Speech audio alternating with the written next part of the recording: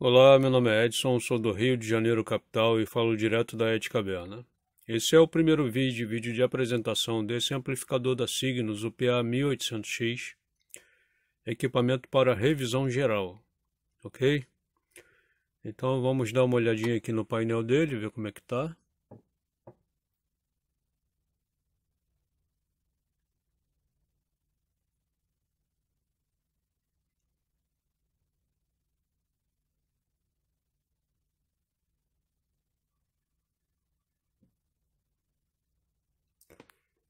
Aqui em cima.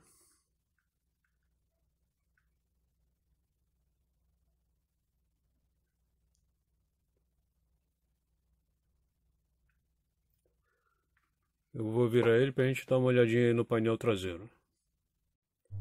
Então tá aí o painel traseiro.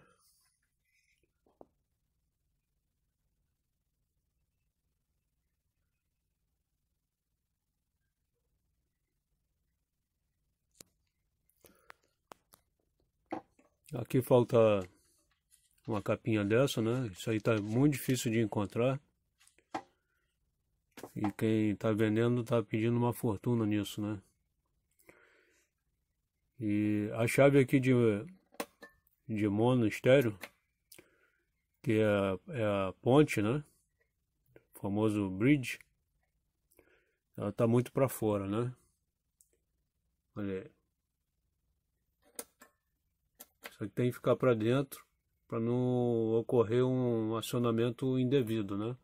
Acidental. E aí causar um, algum problema aí, né? Então eu vou tentar embutir ela. Então tá, eu vou abrir aqui a tampa para a gente ver o aparelho por dentro. Então, o aparelho aí aberto. É, aqui é o seguinte, a placa da fonte, ela é nova, tá? É, ela já está é, com todos os capacitores eletrolíticos da Epicos, inclusive é, provavelmente esses é, de alta capacitância, né? E eu só vou saber quando eu desmontar, né? Mas eu acredito que também sejam épicos e, e de 10 mil microfarads, né? A gente vai confirmar isso aí quando eu retirar, quando eu começar a desmontar aqui. Tá? Bom, com certeza eu vou tirar esses diodos, né? E vou substituí-los é, por duas pontes retificadoras. Então aqui na parte dos amplificadores, olha, capacitores originais. E nesse canal aí, o que é o canal esquerdo, né? Também transistores originais aí na placa de excitação, né? É, me parece que os transistores de saída também são originais. Isso vamos confirmar. Aqui não está dando para ver, né? Vamos confirmar isso quando eu desmontar. É, olha aqui o absurdo que fizeram aqui nessa placa do canal direito. É, onde, deveria, onde, onde é o onde ficam os pares diferenciais, botaram esses transistores aqui, vamos conferir aqui ver qual é. Deixa eu acender essa outra lâmpada aqui. Deixa eu ver aqui. MJ MJE 15 15032, se eu não me engano. Aqui MJE 15032. É, rapaz. Isso aqui vai me dar muito trabalho, hein?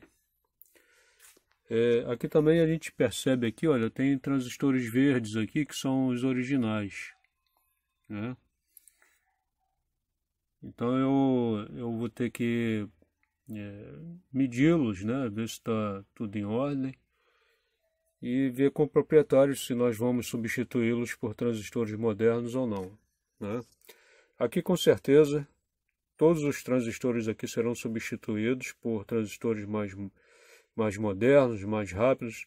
Tudo que eu fiz nos dois PAs 1400 anteriores, que é do mesmo proprietário desse aparelho. ok?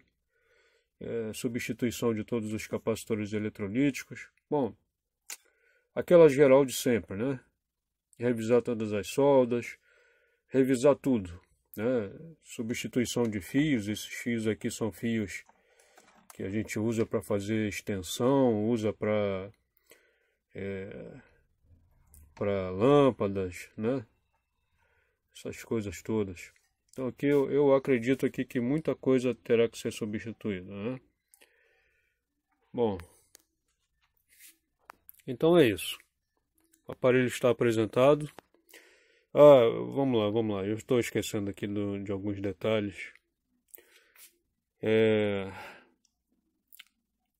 Ele veio com apenas um transformador e que não era para esse aparelho, tá? Eu já vou mostrar esse transformador para vocês. E então nós mandamos enrolar novos é, transformadores com novas características, tá? Então já vou pegar eles aqui para mostrar para vocês. Bom, então aqui os transformadores novos e aqui é o que veio nele, né? Era um só. E era esse aqui, ó essas características aqui.